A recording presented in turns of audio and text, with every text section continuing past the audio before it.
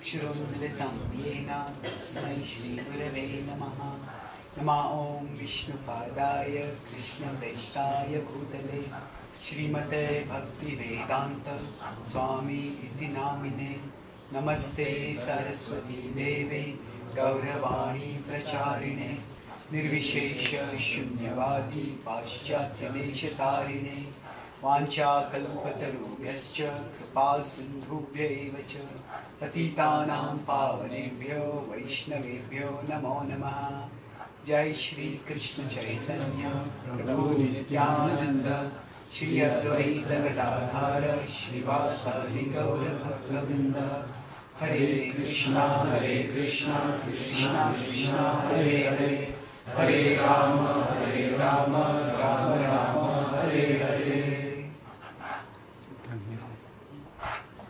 Hare Krishna. Can you hear me now? Audible? No? Audible now? Okay, thank you.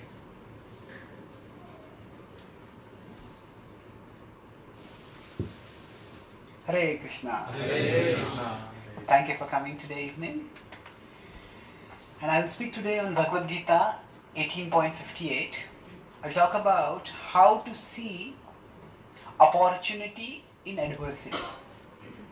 मच्चित्तः सर्वदुर्गाणि मत्प्रसादात् तरिष्यसि अथ चेत् त्वमहङ्कारान् न शोष्यसि विनङ्क्ष्यसि Krishna says, if you become conscious of me, you will pass over all obstacles by my grace. But if you act independently, arbitrarily, you will be lost. So I'll talk this in four points or three points. First, I'll talk about four kinds of knowing or four levels of knowledge and ignorance. Then I'll t- uh, talk about an incident from the Ramayana which illustrates this principle of how we can learn something valuable even in difficulty. And lastly, I'll talk about how that can be applied in our life as a principle. So let's look at first thing. Now we all uh, today now live in a what is broadly called as a knowledge economy. Most of us work in various fields where the kind of knowledge that we have is very important. Very few people of us work with physical labor or physical skills. Even physical labor also requires some amount of knowledge. But today education is very important because knowledge trans- transforms into the capacity to contribute effectively and then earn effectively. So knowledge in one sense is like money because it helps us to earn money. Now with respect to knowledge, if we draw a quadrant, there could be four categories in this quadrant. There are things that we know and we know that we know them. There are things that we know but we don't know that we know them. There are things that we don't know but we think we know them. And there are things that we don't know and we don't know that we don't know them. So let me give an example of these four things. Say if somebody is a engineer, say they have done electronics engineering, then they know that okay, I know I'm an electronics engineer and I know engineering. So that's the category of we know and we know that we know. That's the basic knowledge that we know. Now along with that, there is the second category where we know but we don't know that we know. What does this mean? This means that every one of us at one level has certain knowledge that is instinctive. Like say parents uh, want their children to grow and some children they just pick up a kartal and just start playing it. So easily, so effortlessly they play it without needing any training at all. Now where do they get it? In fact, on YouTube there are videos of small babies in diapers, you know, playing pianos. Now, where do they learn it? It's there. Now, in their case, it is dramatic because we see that those kids, those those small children, are having knowledge which is makes them like a prodigy. It's in this in their case that knowledge has come in the category of they know it and they know that know it. We they know it. But for many of us, we may know something, but we don't know that we know it. In the sense that either we really don't know it or we don't know how valuable it is. Okay, doesn't everyone know it? Say, for example, uh, in many traditional families, there are some traditional cures. Say, if you have cough, if you have a little fever, there's some traditional cures, and many of them work very effectively. Is the volume going down too much, or are you able to hear clearly there? You're able to hear? Okay. It's good. Okay, now. So now, many of these remedies, home remedies or grandmother remedies, whatever, they might be rem- remarkably effective. And the grandmother or elderly family members know it and they use it. But somebody else who doesn't know about it, they may spend a lot of money to try to cure that, take a lot of expensive medicines, and still not get cured. So the value of that remedy, it's known, but its value is not known. Of course, sometimes we there are things which uh, there's procedural memory. You know, when a baby is first born, Uh, the the mother picks up the baby and offers her breast milk. So the baby just knows what to do with it. Maybe may experiment a little bit, but eventually the baby starts drinking. How does the baby know that? So there are things which we know, but we can't really describe how we know. So another example, this could be that, say all of us know language. But if I ask you, when did you learn the alphabet A? How many of us remember that? We use it constantly, but we don't remember it. So things that we know, but we don't know we know them. We just know them, we may even use them. But we don't know consciously that we know them. The third is where we don't know, but we think we know. This is often where there's the biggest problem. where we think that we know some subject or we know we have some knowledge, but actually we don't have that knowledge. So many times now, of course, people use GPS for driving, for finding directions. The Prabhupada writes currently in the Chaitanya Charitamrita purport that in India, if you want to go to a particular place and you want to ask directions, he says ask at least three people. Don't just ask one person. Many times, if you if you ask direction to people, people are unwilling to admit that they don't know. Tell you, go like this and you it's just a short distance away. Now, short is a very relative term. short can mean, okay, two minutes. Short can mean 10 minutes. So, so people often do not want to admit that they don't know or they think they know, yeah, it's just straight, you go ahead and do it, it'll work. But actually when you try to do it, it's, it's not that easy to do it. In fact, every field of knowledge, at one level, if we don't go deep into it, it can appear quite simple. It's like say if some embroidery is to be done or some oh, okay, just move some needle, move something and do the embroidery. Actually when you start doing it, it's it's very complicated. So similarly with so many things we, we don't know them but we think we know them.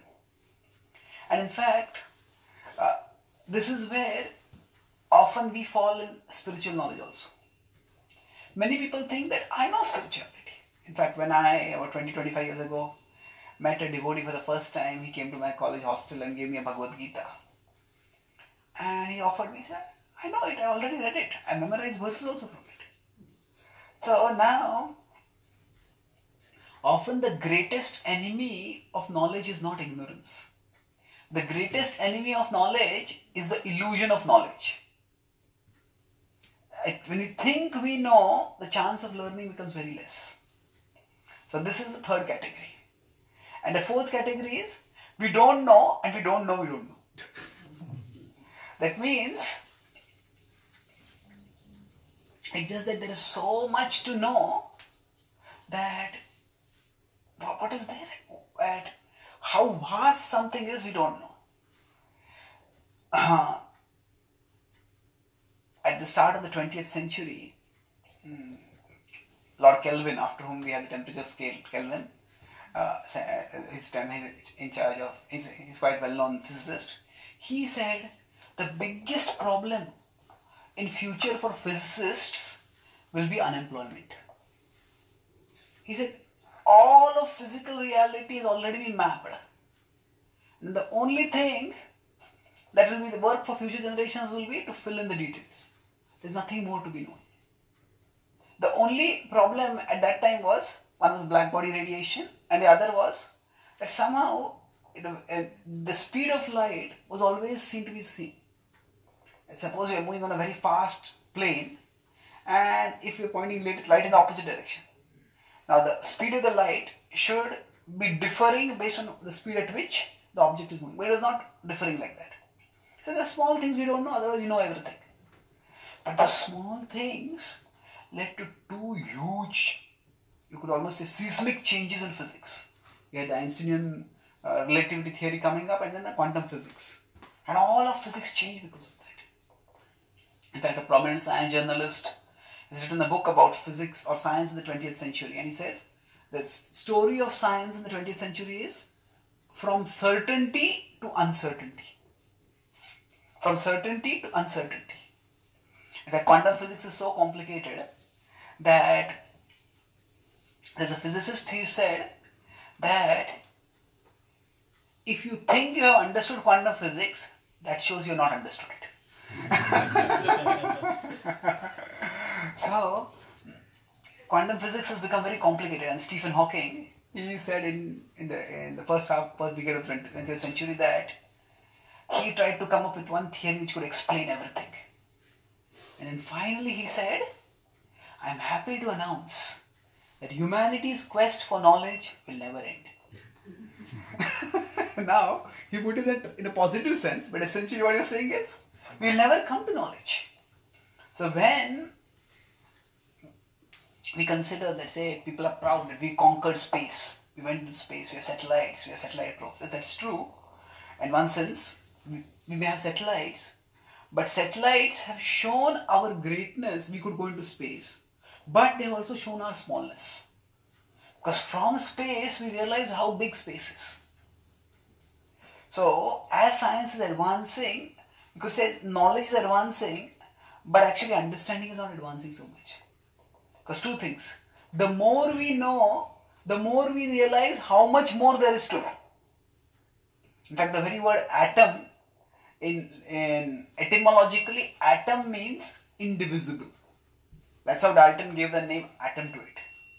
But now, atomic physics is a whole universe, universe itself. In fact, that's nuclear energy, that's future where it is. So, we think we, we, we don't know that we don't know. That is also a situation we are in. And this is where, it's why I am talking about these four categories?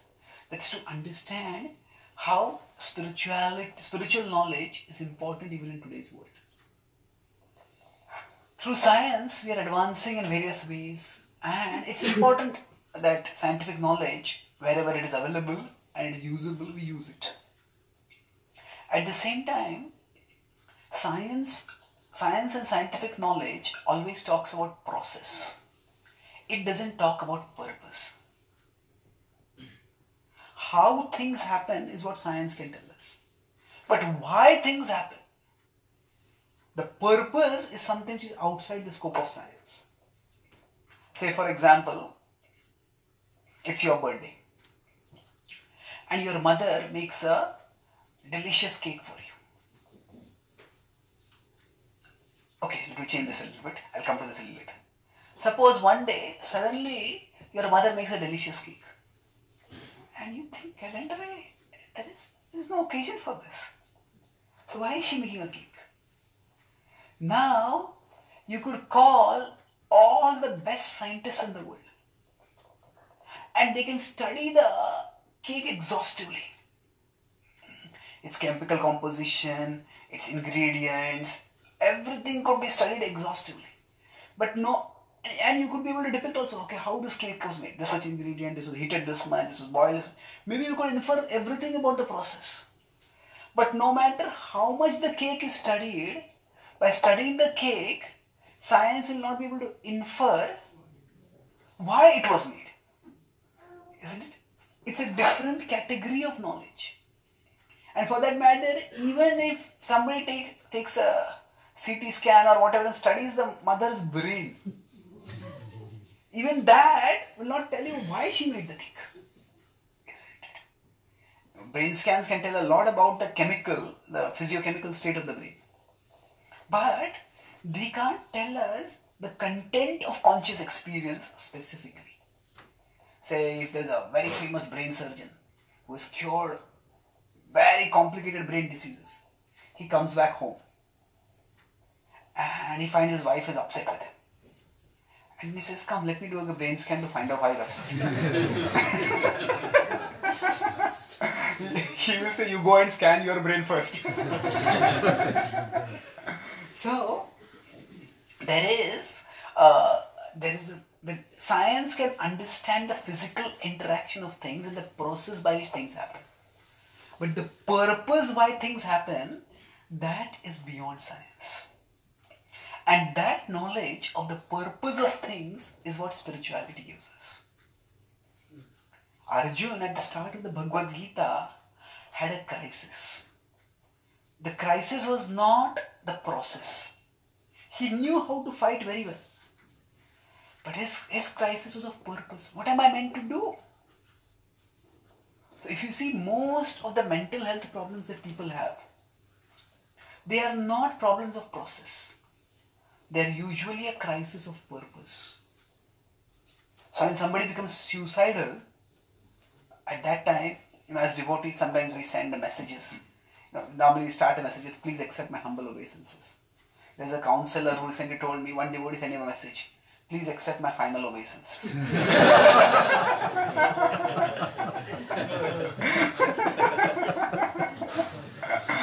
so now that just that could just be one way of draw uh, of demanding attention. I'm in distress. But the point is when somebody is suicidal, at that time it is not a problem of process. Okay, you got a failure, you had a relationship breakup or this or that. You can still go on with life. But what am I living for? It is the purpose, the knowledge of purpose that is extremely important. And that knowledge of purpose, that is something which science cannot provide us. Why can't it provide? Because science looks only at the material mechanisms and their interactions. So why we are living is something which is out of the syllabus of scientific knowledge. But this why is extremely important to know. Say when somebody has depression or somebody has somebody has suicidal tendencies. Now nowadays a common uh, attitude is just take some some brain medication. Now in some cases brain medication may be helpful. But the important thing is that we cannot have chemical solutions to human problems. See, somebody has lost someone and they're grieving. Then grief, you cannot remove grief by taking some chemicals. There has to be normal human growth by which they can recover from the grief. So normally if somebody asks me, you know, if we are devotees, should devotees take, if they are feeling depressed, should they take a medication, some brain medication? My answer is you have to look at your whole life.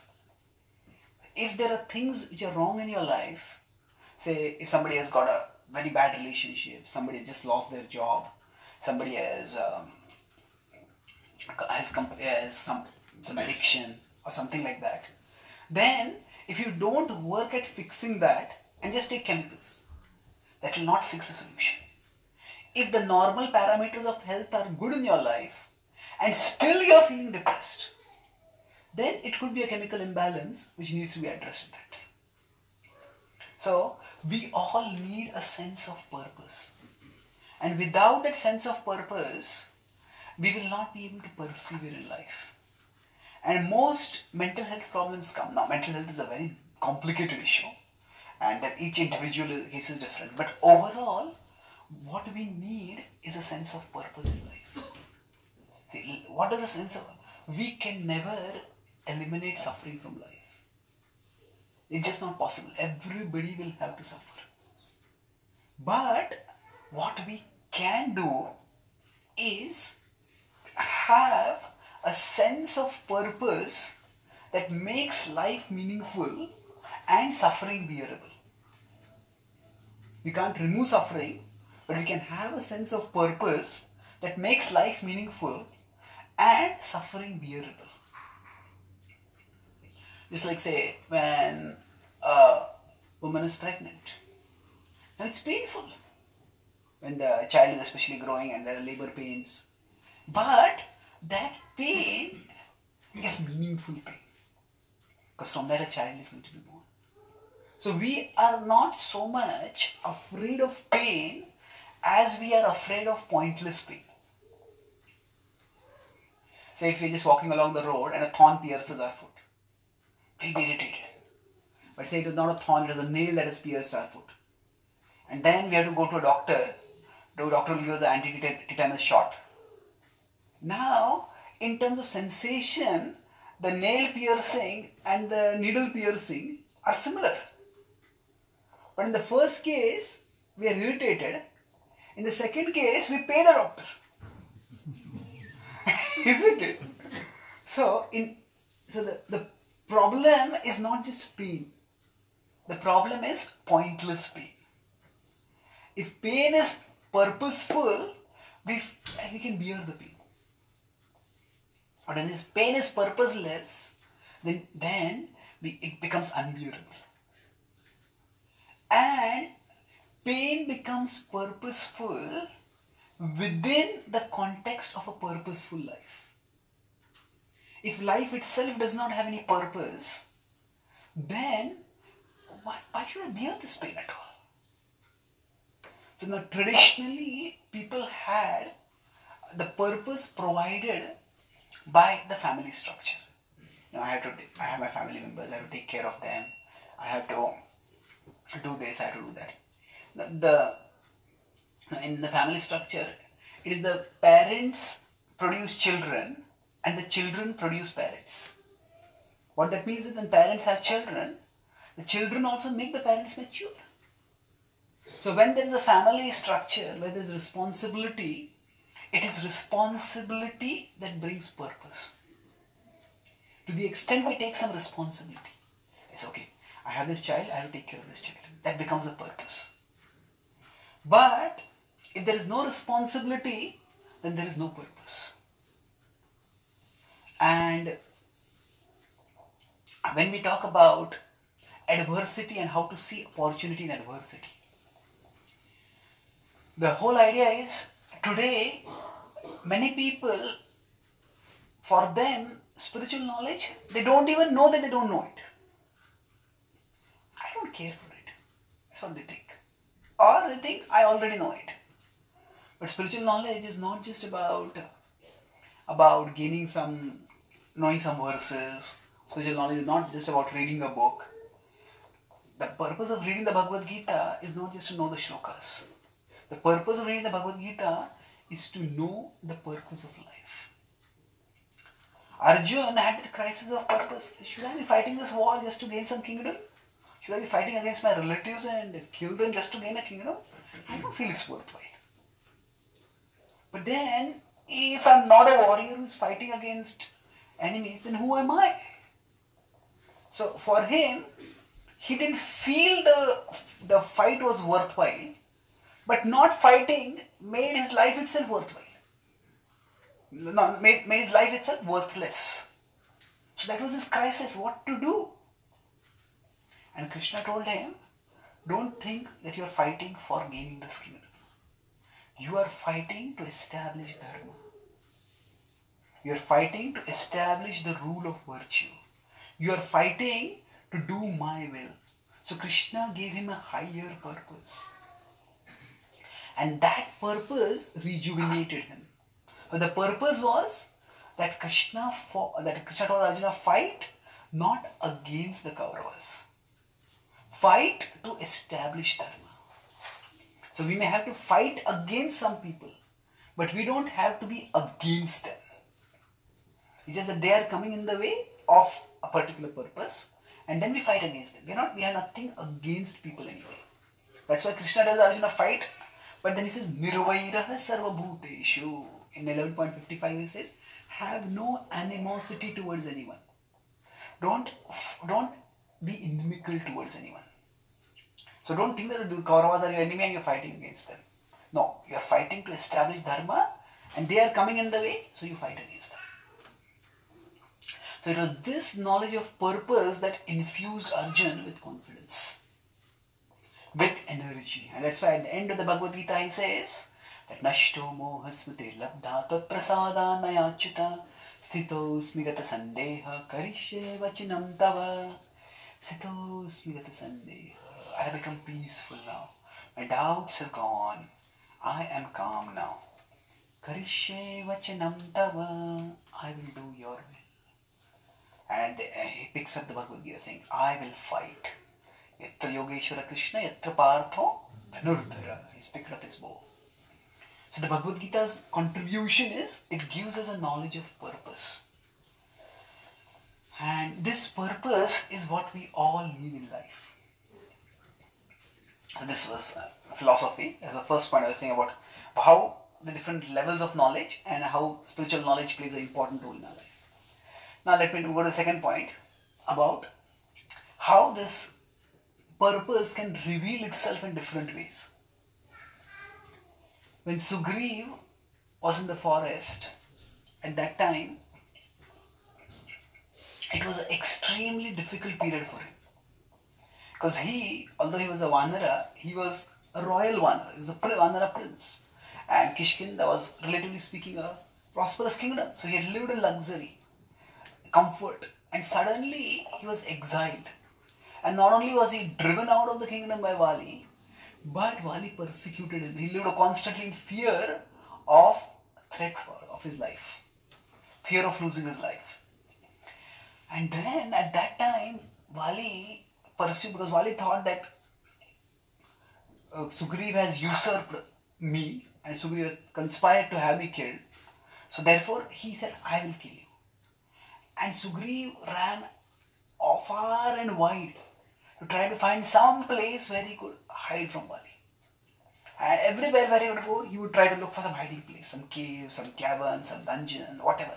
Somewhere he could hide. But Wali would ferret him out. And Sugriv would have to flee from there. And finally, after going far and wide across the globe, finally Wali, uh, Sugriv found a place which Wali could not reach. And that was in the near the Pampa Sarovar in the Rishamukh mountains. There, once Wali had incurred the curse of a sage. Now, he had defeated a big demon called uh, Dundubi, and he had, after defeating the demon, he had killed him and he had flung the carcass of that demon into the sky. And while the carcass was flying through the sky, some blood from that carcass had fallen in near the hermitage of a sage who was living there. And seeing the desecration of his sacrificial arena, that sage had got angry and he said, This arrogant monkey who is desecrated by a sacrificial arena, if he comes within a 10 mile radius of this hermitage, he will turn into stone. Now Vali was very powerful, but he knew these curses are much more powerful. So he decided not to challenge the curse. And he stayed away. And Sugriv stayed in that place. So it's interesting sometimes we look for safety all over the world, but safety was very close for Sugriv. In the in Kishkin, near Kishkinda only. But anyway, uh, he stayed over there. After that, Vali, uh, uh, Sugriv and Ram allied, and then Vali was neutralized, and then Sugriv became the king. And then after four months of the rainy season, then when Sugriv was to send the various soldiers, various uh, monkeys to, the, to search for Sita, that was the agreement. That you help me gain my kingdom, and you, I'll help you gain back your wife. So he starts to search, and then he called monkeys from all over, and they came and he started giving them directions.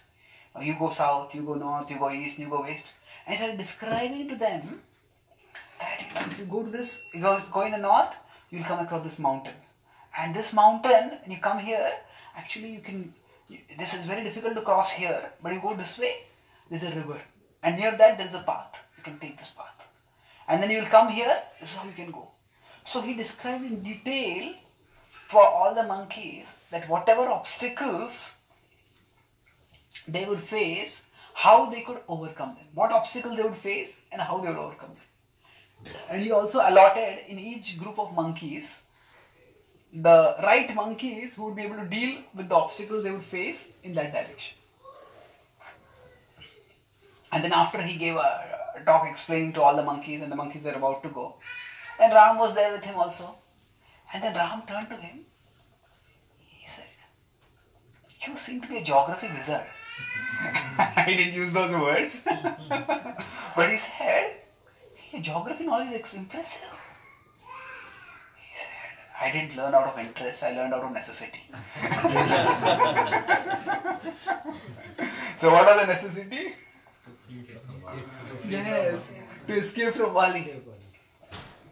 So, what he learned at that time, just to escape from Bali, now came to his assistance when he was serving Ram. Now, at that time, he could have just felt sorry for himself. You know, I have to run away from my own brother, I have to run away from my own kingdom. But at that time, he was resourceful. He was in learning mode. Okay, let me learn this. Let me. Where is this? Where is this? Where is this? For whatever reason, he learned, and when he learned that, it came to be useful for him later. So now, for him, being in exile, being a refuge, being a fugitive practically, who was always under threat, it was a painful thing. But within that painful situation, rather than resenting it, he tried to keep learning. And what he learned at that time came to his help later. So his purpose was to serve Lord Rama. And in this purpose, the knowledge that he had acquired in the past, it just naturally came to use for him. So for us, when we go through difficulties, know, we don't know necessarily why we are going through a specific difficulty. But during, through each difficulty which we are going through, we can learn something. And what we learn, how it will be useful, we may not learn at that time. We may learn it later. So when we have, when we face any difficulty, so uh, this is the second point at all, and the third point I'll talk about how we can have this learning attitude amidst difficulties. Say right now all of you are sitting, and suppose there's an earthquake here. Hmm? Don't imagine it, just think about it. if there is an earthquake, now if it's a minor earthquake, now if say I'm sitting here and the earthquake happens over there somewhere in the corner, then I won't be shaken that much by it because the earth is quaking over there. But if the earthquake happens here, I'll be shaken much more. If the earthquake happens right below me, I'll be tossed up. So the, the closer we are to the location of the quake, the greater we will shake. So similarly, whenever anything shakes us, when something goes wrong in our life and it shakes us, that is an indication that that is where something is very important for us. So if that were not important, that would not shake us so much. But if it because it is important for us, that's why it shakes us.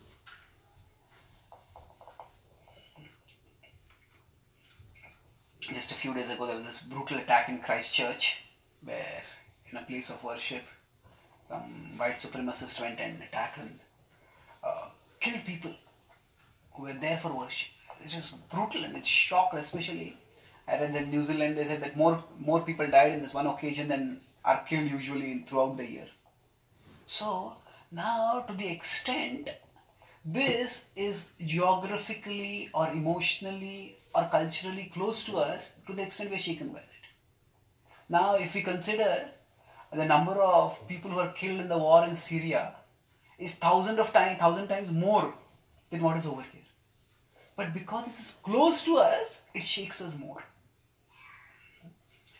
Now, for us, when we are seeking stability in life, seeking strength in life, uh, we all want some kind of stability which will last. We may think, seek it through good health, we may seek it through good finances, we seek it through good relationships, and all these can provide provide stability or security to some extent. But in all these things, these are all things below which a quake can occur. Below which a quake can occur. I just met a devotee from Zimbabwe, and he says the Zimbabwe currency has depreciated so much. It just keeps going up and down, but it's depreciated so much. He said that we, we would take a bucket full of currency to the market, and when you want to buy something, the shopkeeper would throw the notes away and take the bucket. and would give us something in exchange for the bucket. so we may think I have so many currency notes, it's valuable. But what happened is that currency can get terribly depreciated. So we may seek security in different ways, and at a practical level, that's important. But these, if seeking this security or gaining the security is our purpose, and sometimes that can be sabotaged, it can be just destroyed. But if we understand that we are souls, we are parts of Krishna. Now, Krishna consciousness places us on a ground that no quake can shake.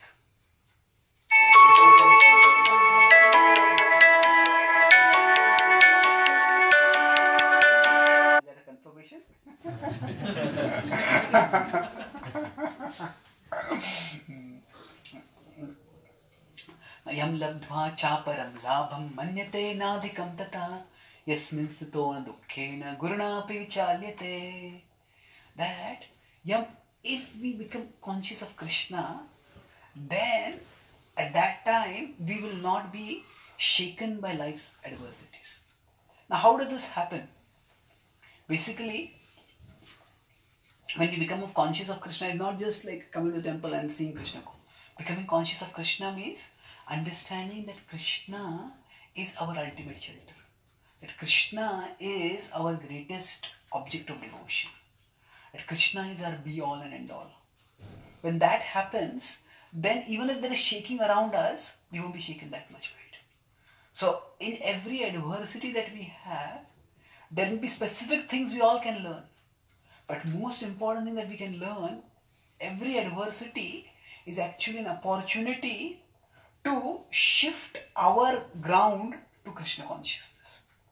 Whenever we are shaken by something, if we are shaken by the health going down, if we are shaken by the finances going down, if, now those things need to be dealt with at a practical level, definitely. But along with that, that is also a pointer, indicator that I cannot have my shelter in these things. I need to work to fix this, but I also need to work to fix my consciousness so that my shelter is in Krishna. So every time an adversity hits us, that adversity introduces us to ourselves. So why am I feeling so disturbed by this? Because I'm too emotionally invested in this. And this is important for me and I need to take care of it. But I cannot make this my shelter. My shelter has to be Krishna. So every adversity that we face, we can see that as an opportunity to take the shelter of Krishna. To deepen our connection with Krishna. And then that will, that connection with Krishna will give us three things. It will give us calmness, it will give us clarity, it will give us confidence. We, yes, we remember Krishna, we pray to Krishna, we become conscious of Krishna, we start becoming calm. And as we become calm, okay, this is happening, this is happening, what can I do? Once calmness comes and clarity comes. And then from clarity, okay, I can do this, I can do this, that can, from that confidence will come. And then we'll be able to deal with that issue at a practical level also. So I'll conclude with one incident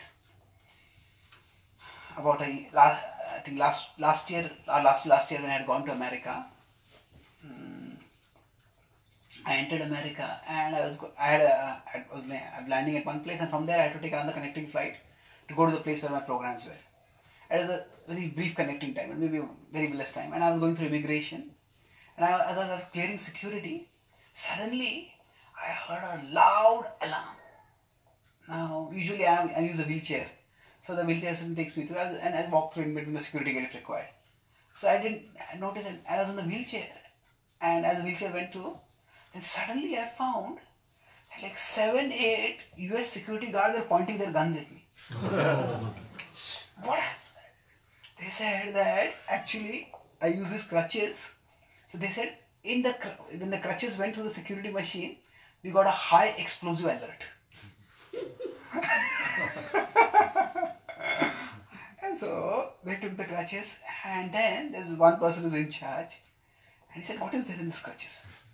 I said, "There's nothing in the crutches." So then he said, "We'll have to break these crutches." I said, "If you break the crutches, how will I walk?" That is not my problem. So I was initially I was annoyed, but then I started getting alarmed. And I started getting, I was thinking, you know, first I was just annoyed that I'll miss the next flight. I thought if my crutches get broken, my missing a flight will be the least of my problems. then, as I was trying to, I was trying to reason with him. Maybe he had a, he was in a bad mood or whatever, and he was the boss over there. He was just, I said, there's nothing in the crutches no, no, we have to break the scratches. So uh, I like to recite the Bhagavad Gita verses. So whenever I don't have much to do, I try to recite the verses. So somehow at that time, the Bhagavad Gita's 18.61 came in my mind. Ishvara sarvabhutanam hriddeshe arjuna tishtati brahmayan sarvabhutani yantrarudani mayaya says, Krishna says that I am guiding, guiding the wanderings of all living beings. They are all seated on the machine made of matter. So I just, just recited this verse, my mind suddenly it struck me that actually I have probably traveled through 100, 200 flights, you maybe more also. If things had to go wrong, so many places things could have gone wrong. Krishna has seen me through all those situations. Krishna has guided my wanderings across so many different countries. Just is a thought of that, just the thought came that Krishna me now also. And then the next verse is Tameva Sharanam Gacha Sarvabhavena Bharata Tat Prasadat Param Shantim Sthanam Prapsasi Shashvatam. Just surrender to Him. By surrendering to Him, you will gain peace. Krishna is saying. So I just prayed to Krishna and surrendered. Whatever you want, Krishna. And then, as I just offered this prayer of surrender, suddenly somebody, some other person came over there. And apparently he was the boss of this person who was quite disagreeable. I said, what is going on over here? And he said, this person we found uh, high, high explosives, high, high explosives in his clutches. I said, he looked at me and he looked at him and he said, okay, you go, I'll take care of this. Then, and he approached me and he says, what is there in the clutches? I said, nothing in the clutches. I just use them to walk. And he picked up the clutches and started fidgeting around with them. And then he said, can we open this? Now the crutches, they are collapsible. Now I never tried to open them, but I looked at it. Yeah, they're openable. I said, okay, then we'll open it. And he started opening it. And then he opened it and then he took the bottom piece and he put some kind of prong inside it and started pulling some, some dark kind of stuff came out of it. Then he looked at it, he dropped it. Said, put it again, came out dark. So what is this? I asked him, what does it look like? He said, it's mud. I said, yes, it's mud. So then he put it a little bit inside and took it out and more mud came out. So what had happened, before going to America, I had gone to Vrindavan to take the blessings of Dham. And there I had gone to, I had walked by the banks of the Jamuna. And because the Jamuna is highly polluted, so while walking the, these crutches, they have this rubber padding at the bottom. So somehow the rubber padding had got spoiled and the mud from Jamuna had got inside the crutches. And because the Jamuna is polluted, so the sedimentation on the bank of the Jamuna had high metallic content. And that was detected as an explosive. so I was thinking, actually, it was Vraja Raja, the dust of Vrindavan. that was the explosive. so I thought, yes, the dust of Vrindavan is the ultimate explosive. it can actually explode all our material attachments. It can explode all illusions. But anyway, he took out a little more dirt. And then he just put the crutches. He says, cleaning your crutches is not my job. I said, okay, I'll do that. So then I just fixed the crutches and then I went after it. So it was at that time uh, just an incident which just struck me that if I had not remembered the Gita verse, I don't know, probably this person might also still come. But at least I was much calmer and clearer just by thinking of that verse. so for all of us, now when I memorize the Bhagavad Gita's verses, I never thought I would face such a situation when I will remember this verse. but when we try to provide for ourselves resources to be conscious of Krishna. I'll repeat this point. When we try to provide for ourselves resources to be conscious of Krishna. Because being conscious of Krishna by itself, think of Krishna. What do I think of? Do I think of a form of Krishna? What do I think of? Now, each one of us has to find out how we can most easily think of Krishna. So, if you consider this a circle of bhakti activities, and this is the circle of the things we like to do. We find where these two intersect. The bhakti activities and the things we like to do. Find out where the two intersect. And where that intersect, the intersection is there, those activities we'll be able to do very easily. If somebody likes music, somebody likes singing, then for them to maybe memorize verses and study philosophy will be difficult. But for them to sing will be very easy and they can remember Krishna way. But somebody who is more analytical, intellectual, for them, yes, kirtan is nice, but I need some philosophical substance. So, so then they may have some quotes written down, some good classes, some intellectually stimulating content. And they have that, then that's what will enable them to connect with Krishna. So if we do this, if we see every adversity as an opportunity to deepen our Krishna consciousness, then not only will we go closer towards Krishna, but by going closer to Krishna, we'll also be able to deal with the situation better. Because when you go closer to Krishna, it is not just we are running away from the problem. Rather, is running away from the problem and there is rising above the problem. So bhakti may be done by some people in the mode of running away from problems. But the way we practice bhakti, as the Bhagavad Gita tells Arjun, bhakti is not about running away from the problem, it is rising above the problems. Rising above the problem means that we understand that I am a soul, I am indestructible. I am part of Krishna and Krishna is Krishna's plan is infallible. And then when we have this understanding, yes, this problem has come, but I exist at a higher level. I am a spiritual being. And how can I deal with this problem? So when we provide for ourselves resources to be conscious of Krishna, then we can rise above the problems. And by rising above the problems, we'll not only go closer to Krishna, but we'll also get the calmness, clarity, and confidence to deal with the problem better. And thus every adversity is an opportunity for us to deepen our connection with Krishna. And to see the magic of Krishna consciousness, not just in terms of solving the problems. Sometimes the problem may be solved, sometimes it may not be solved, but we will get a better understanding of how to deal with it. Sometimes we may get release from problems. And sometimes we may get relief amidst problems. Sometimes the, we'll just get a solution. Okay, this I can do, this will get solved. Sometimes even if it doesn't get solved, we'll get relief amidst the problem. The problem is there, but it doesn't burden me so much. And that way, either way, whether we get a release from the problem or relief amidst the problem, we will we will experience the magic of Krishna consciousness. So adversity can be an opportunity for us to realize our own spirituality. So I'll summarize what I spoke today. I spoke on how to see an opportunity in adversity.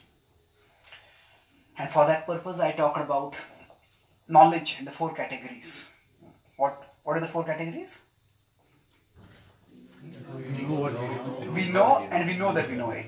Then we know, but we don't know we know it. Then We know, but we don't. we don't know, but we think we know. And for this, We don't know that we don't know. so there are these four categories, and we discussed various knowledge in different categories.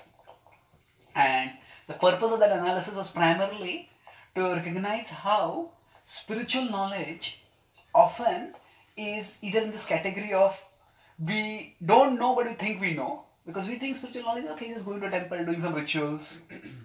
Or we think oh that is some people just are too rational. They think this is all just sentimental mythological or imaginary.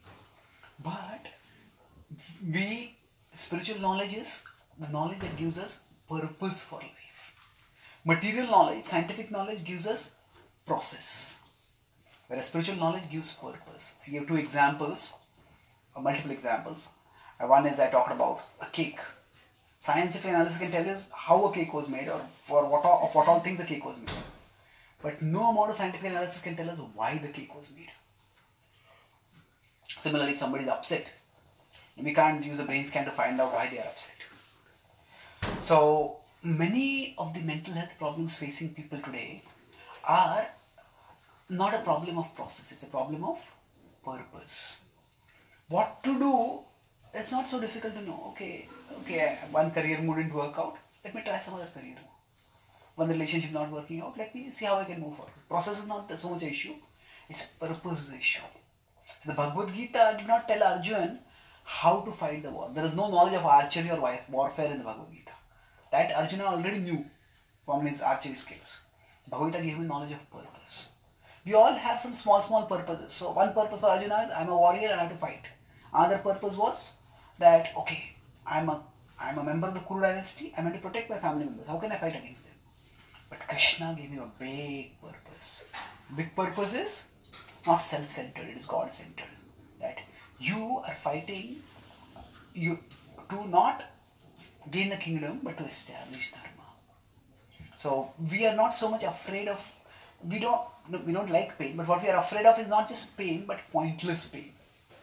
So uh, thorn or nail piercing into our foot irritates us, but uh, it, tetanus, anti-tetanus dose piercing our body doesn't irritate us so much. So what we need is a purpose that is bigger than the pains of the world. We all have certain purposes. Say, I have to take care of my family, I have my career, I have this. We all have our purposes.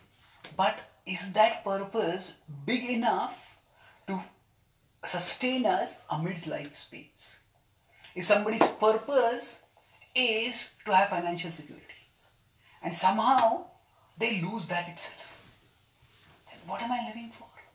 Somebody's purpose is, oh, I want to have good relationship. And then suddenly a relationship with the thought of good breaks down. Then what am I living for? So we need a purpose that is big enough to to, to absorb the reversals of life. Right. So whenever uh, the a quake occurs, the closer the quake is to where we are, that much will get shaken. So when we when adversity hits us, if we are agitated, that means that adversity has hit us at something which we are very emotionally invested in. And we do need to work at a practical level to deal with that. But another thing we need to do is we need to situate ourselves on a ground where no quake can shake it. And that ground is Krishna consciousness. So understanding that we as souls are indestructible, understanding that Krishna is God is our eternal benefactor, and then connecting with Him in devotion, that will give us an infallible stability. So uh, for for Sugri, for Sugriv, when he was on, on the run, he was not resentful, but he just learned of the various hiding places. And later on, Uh, for when he was Ram, that knowledge came in useful for him. So for us, when we face difficulties in life, why we are going through, uh, you know, what is it that is why, what uh, that particular why that particular difficulty is coming? That may not be very clear for us. But if we have a learning attitude, we may learn some skills that can help us in future at a material level. But along with that, most important thing we learn is we learn how Krishna consciousness can provide us shelter. That Krishna consciousness, it may give us the calm, clarity, and confidence to find to tackle the problem, to get release from problems. But even if that doesn't happen, it will raise our consciousness up so that we will get relief amidst the problem. So we don't uh, practice bhakti to run away from problems, but to rise above the problem. And we need to provide for ourselves the resources to be easily conscious of Krishna. So for me, it was, I mentioned the story of the crutches having some apparently explosive thing. That for me, it was remembering the verses of the Gita.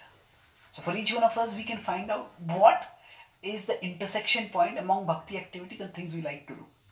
And then we do that more and more, and then we can have that resource accessible.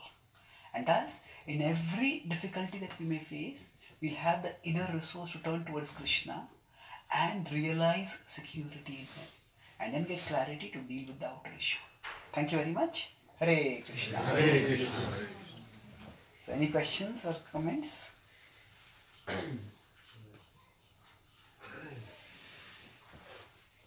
Yes. Yeah, Prabhu. Sorry, thank you again for this nice lecture. You mentioned about uh, relationship and uh, struggle in certain relationship and leading to depression. Many a time situation arises where things are imposed on us and it happens in family, it happens in friend, it happens even in temple as well and workplace as well.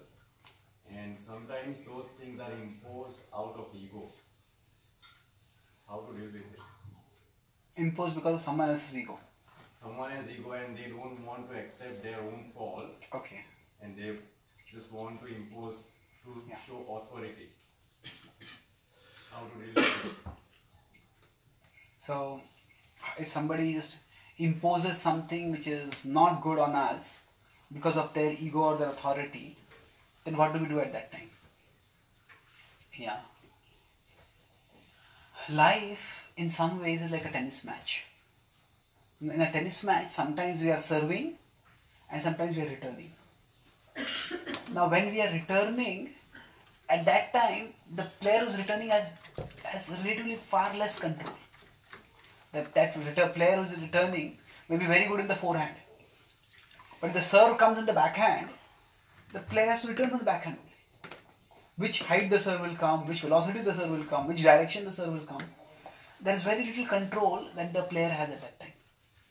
So when they're returning, all that they have to do is make sure that they touch the racket to the ball and get the ball back in play. Eventually, their time to serve will also come. That time they will have much more control, much more initiative. So all of us will go in life through different situations. So sometimes we are in the position of returning. That means the control that we have is very limited. So we just have to do the best we can in that situation. And while we are doing the best that we can in that situation, because somebody now why somebody has imposed that, that's a different issue. Right now, there's a restriction for me. So I have to operate within that restriction. Of course, we can work to counter that restriction also. But the fact is, if that person has the authority or that person has the ego, whatever, the restriction is there, operate within that now. Keep operating within that. Keep getting the ball in play. And eventually, things will change. So, that constraint, that limitation is not going to be forever there. Although sometimes at that time it can appear that it will go, it will go on forever. So we will all, rather than looking at that this person is imposing it, first we can understand this principle that there will be times in our life when our control will be limited. And we, it's important to learn that skill of operating within limited controls. Even when our control is limited, how best can I function within that limited control? Sometimes you feel this person is suffocating me so much that I can't do anything. It's uh, it, it may be like that, but we are never that powerless. No matter how bad our situation is, you can just do this thought exercise. No matter how bad a situation is, we can always make it worse. People say, you know, who wants to make it worse? Isn't it? It's already bad. No, that's not the point. The point is that think of the worst situation in your life that you are in. Can you make it worse? Obviously you can. say if you're not done well in a particular exam, and then I decide I'll not study for the other people. Well, in that you get poor marks, here you get no marks. It'll be worse. So if every situation that we are in, if we have the power to make it worse, then that means we are not entirely powerless. If you can make it worse, you can also make it better. Now, how much you can make it better, that's variable. So sometimes some some tennis players actually they they win Grand Slam championships primarily based on their returning skills. The most players will be do well on their serve. but what defines them, what helps them win matches is their excellence in returning. So when we are put in constrained circumstances, how well we operate, that is also a valuable skill. And learning that can stand us in very good stead in future. So for example in this class. So when I was giving the class, I was serving. Now when you are asking questions, I am returning. I don't know what kind of question you are going to ask. Isn't it? Whichever question comes, I'll answer to the best of my capacity. Hmm. Now some people may like the class, some people may like the question answers.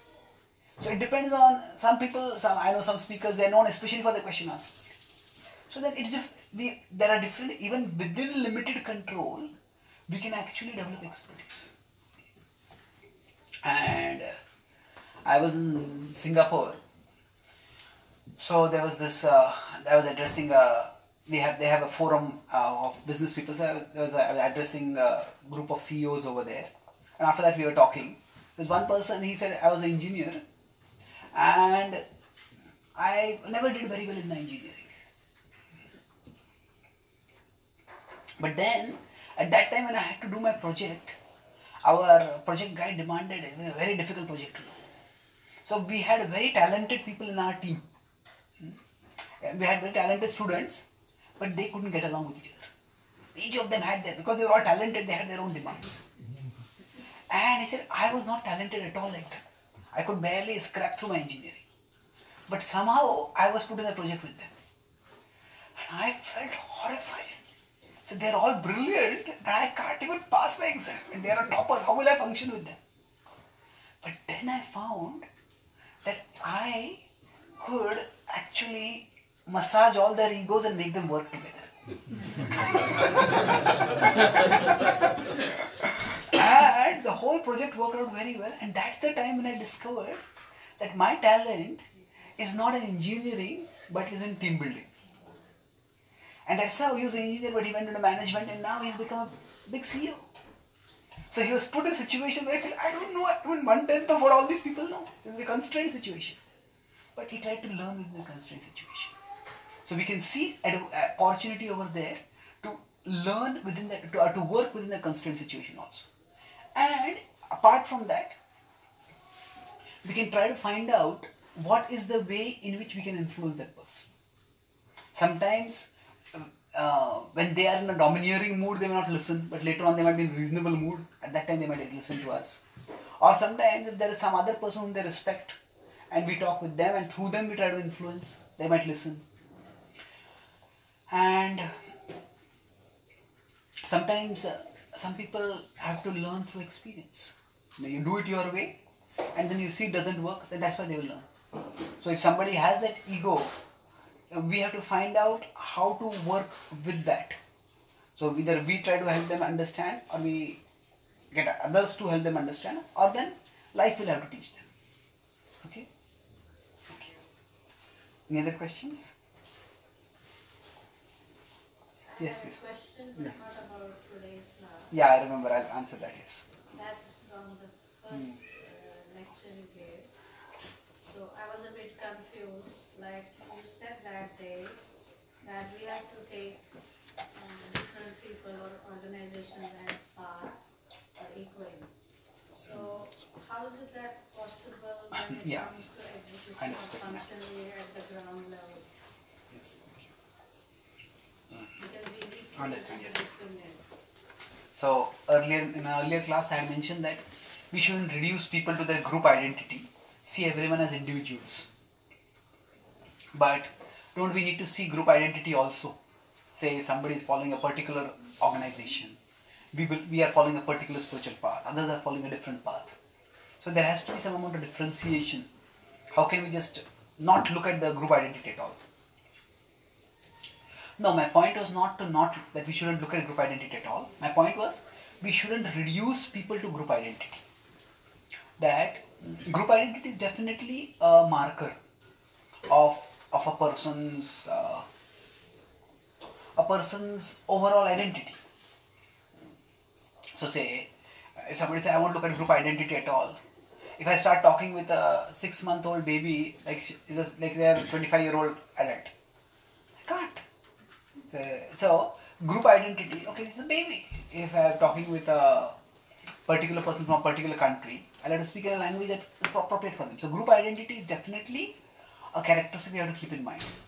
And when we are following a particular path, naturally every bond brings a boundary with it. Every bond brings a boundary with it. Say before people are married, they might just freely mix with many other people. But if they get married, that bond comes, but that bond brings certain boundary with it. So similarly, when we follow a spiritual path, it's a bond. We're trying to be bond with Krishna, and we're trying to bond with Krishna by following a particular process. So when the bond comes, along with the bond, boundary will also come, and the boundary needs to be respected. It needs to be understood. It needs to be respected. So if somebody is worshipping Krishna or worshipping God in some other path, then we respect them for their path. But at the same time, we have to understand that this, there are some differences. And the recognizing those differences is important for being able to properly follow our path. It's just like, say, if a student is studying uh, in Oxford, and there is the there is another university in England which is very famous, which is the other one, Cambridge. Cambridge. Yeah. So now, now in Cambridge, some other something is being taught in some other way. Now, if the student wants to get a degree from Oxford, that student has to commit to studying according to the Oxford pattern of study, and that's how the student get promoted to get degree. So if there's a different way of teaching in Cambridge, we respect that, but we can't mix the two. If you want a degree from Oxford, you have to follow Oxford. Want a degree from, if you want to follow that process, then go to Cambridge. So that bond with Oxford will bring a boundary of Oxford. Similarly, when we follow a particular path, there will be a boundary that will come with it, and the boundary has to be respected. At the same time, say mm, I was I was gone to Oxford, so there was one. They have their guide who was taking us around, and she said she said you know sometimes terrible things happen in Oxford also. People from Cambridge come here.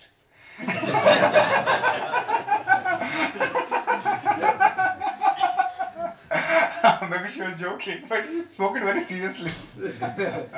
so they have that rivalry going on over there from a long time. Mm. So now, uh, so if people in Oxford have a stereotype of how people in Cambridge are, now maybe they are high, they are um, arrogant or whatever. Now it could be that some people over there like that, but it's not that everyone there is like that. So we don't have to reduce every person to that identity. So if somebody is doing things in a particular way, then we have to observe them, and if that person is arrogant, okay, they're arrogant. Uh, that's all how they are.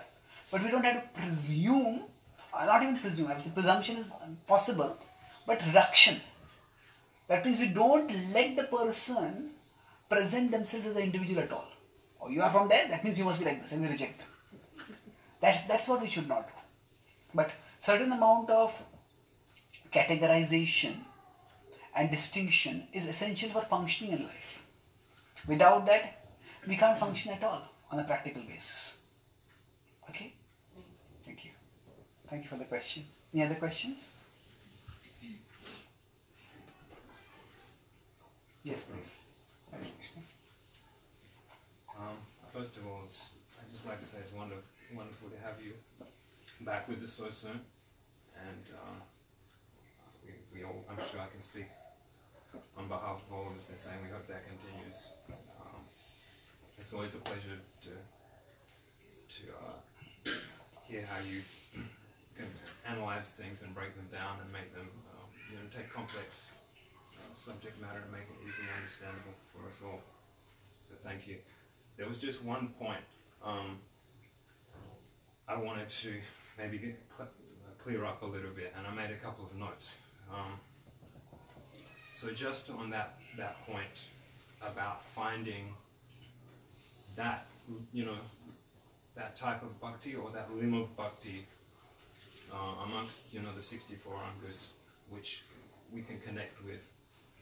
Um, and it's and it's such a good point. Um, and I just want to clarify a comment um, if I may around that that, that you, you spoke on. Um, just in regard to Nam Sankirtan um, and it was nice you brought that up.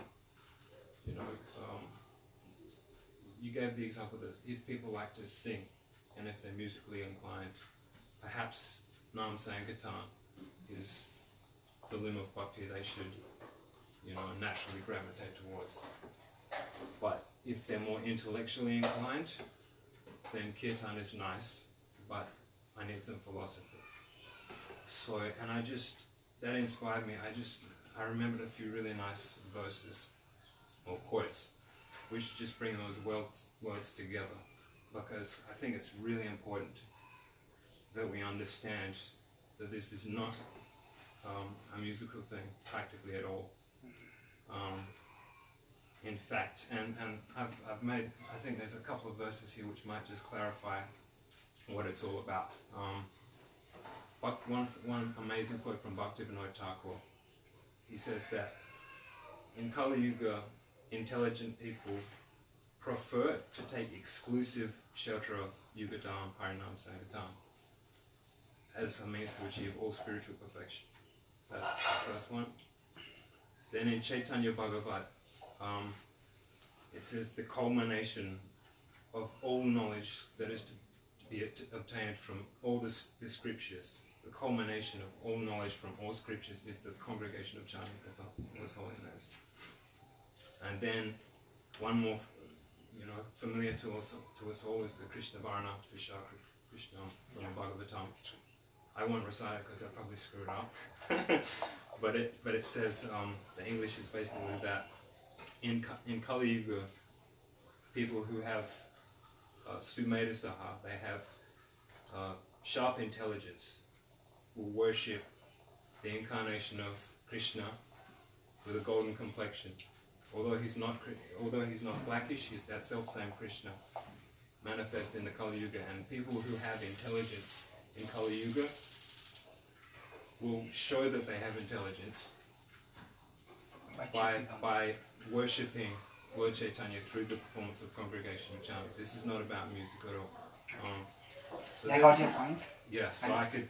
I, think that's a valid point. I'll just yeah. make a response to that. Thank you. know, the chanting is not just musical, it is transcendental, it is the culmination of all knowledge, it is the culmination of all philosophy.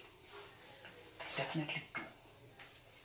Having said that, in the when we are right now in the conditioned stage, moving towards the transcendental stage. At this stage, each of us has to find out the access way to Krishna that works the best for us. So, both ways I will say that. Somebody who's very intellectual, they will be studying philosophy.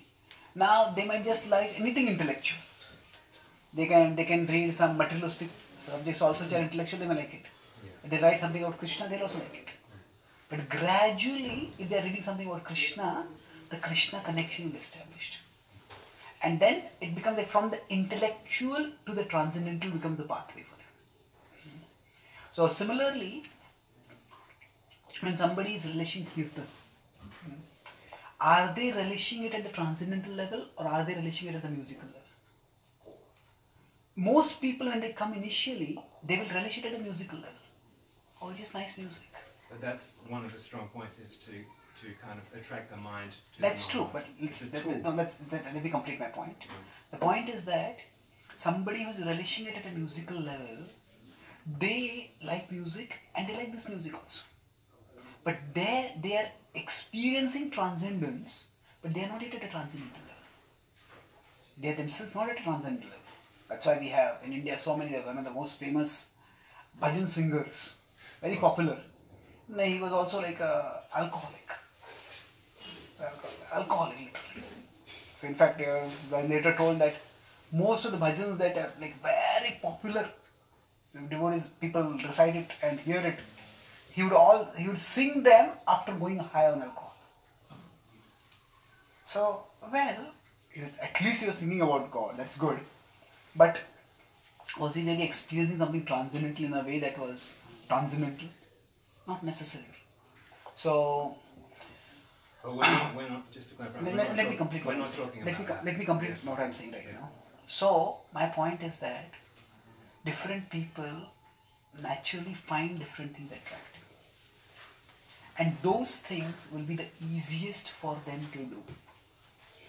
So, bhakti is transcendental, even philosophy is not intellectual. And Krishna says, when you are studying the Bhagavad Gita, he's saying, Adeshyate cha dharmam samvadamavyo jnana yajnena tenaham ishtasyamati unati." He said, you are worshipping me with your intelligence. Just like we might do arti with a diya. Krishna is saying, when you are studying the Bhagavad Gita, you are doing an arti of me with your intelligence. So even the philosophy is not intellectual. Sure. The kirtan is not just music. The philosophy is transcendental, the kirtan is transcendental. What we are talking about here is what is the access way that works best for different people. Yes. So for somebody who likes music, the musical connection with Krishna will be easier to establish. For somebody who is analytical and intellectual, the intellectual connection with Krishna will be easier to establish. For somebody who is who is who has, who has some other interests, that particular somebody who likes to do drama, for them thinking about oh this drama, this role, this dialogue, this setup, this costume. That's what can engage them more. Sure. So each one of us has to find out how best we, how not best, how most easily, most accessibly we can become conscious of Krishna. But that may not be the highest form of Krishna consciousness, but that is the most easily accessible form of Krishna consciousness. For us to get our consciousness out of matter and towards Krishna. Once we get our consciousness towards Krishna, then gradually we can become purified. So we can't become pure devotees without becoming devotees. First, we have to have a connection with Krishna, and then we can have a pure connection with Krishna. So we are talking here about how best the connection can be established for people at their particular level. So, whatever is anyone's deepest experience, that is their experience of Krishna. Somebody is a writer and they spend hours writing, know, editing one word, editing one paragraph, and they spend hours and hours. Now, what are they experiencing over there? Actually, they're experiencing an opulence of Krishna over there. Just they don't know that they're experiencing Krishna. But if you can connect them, you're writing, what is the taste in you're getting and writing, constructing a sentence well, and having rhyme, having elegance, having precision. They're actually experiencing an aspect of Krishna. Everything that is attractive, Krishna says, manifests a spark of my splendor. So whatever is anyone's deepest experience, that is their experience of Krishna. Just that they don't know that they're experiencing Krishna. But if you can give them that experience, or we can give them that facility, okay, you're, you like writing? Okay, you write for Krishna. And I know devotees who they come to temple and I know one devotee he came for us with us to Vrindavan and he went to Vrindavan, went to all the holy places and it's nice. And he came back and he wrote a travelogue about his experiences in Vrindavan. And he told me that in writing that travelogue, I actually experienced Vrindavan more than when I was in Vrindavan. Because in writing, I was more absorbed. Okay, this was what I experienced. I did more research, I wrote about it. So each person is an individual. And based on the kind of body mind that we have, we will experience Krishna differently. So we need to provide everyone the facility and the freedom to experience Krishna in a way that they naturally experience things deeply. So if for somebody it is music, that's wonderful. For somebody it is analysis, that's wonderful. For somebody it's drama, it's wonderful. For somebody it is cooking, that's also wonderful. So we have to ultimately become absorbed in Krishna. And Yuga Dharma in this particular age is chanting of the holy names. And that's why it's especially important. Definitely it's not musical, it's ultimately transcendental. Okay. Okay. Yes. Maybe we can talk more about this later. Okay, Thank you. Yeah, I, I just wanted to uh, appreciate your, your reply, and um, I think it was just, I didn't, you know, we have to be clear that it's not just one of the limbs of bhakti, rather, Yeah. all the other limbs of bhakti depend on also doing the Yuga Dharma, for their, from them to fructify. You know, so I may be worshipping Krishna by my intelligence, reading Bhagavad Gita, I may be worshipping the deity, but you know, Harinama Evakevam, you know, that Harinama, Harinama, Harinama Evakevam. In Kali Yuga, we have to make sure we have that understanding. That's right. Thank You you. know, but thank you. Hare Krishna. You had a comment or question? Okay. Thank you very much. Shri Prabhupada ki jai. Gaur Bhakta Vrinda ki jai. Gaur Premanand.